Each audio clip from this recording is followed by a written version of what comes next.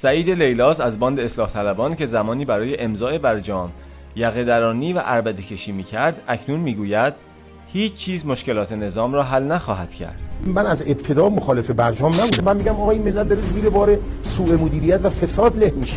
ببین اینقدر این دستگاه فاسد شده که بدون ایجاد روزی پنج هزار میلیارد تومن نقدینگی نمی‌تونه ادامه حیات بده. عین دزدی یعنی عین یه معتادی که حاضر اموال ننشو باباشو فرششو زندگیشو بچه‌هاشو بفروشه خرج اعتیادش کنه سیستم جمهوری اسلامی الان افتاده به این روز که این کارا داره انجام میده با نه از طریق چاپ نقدی این آرامش از لوله توپه در میاد نه از توافق. واقعیت سرسختی که مقامات خود نظام هم به آن رسیده این است که تنها راه خلاصی از این وضعیت براندازی این نظام است.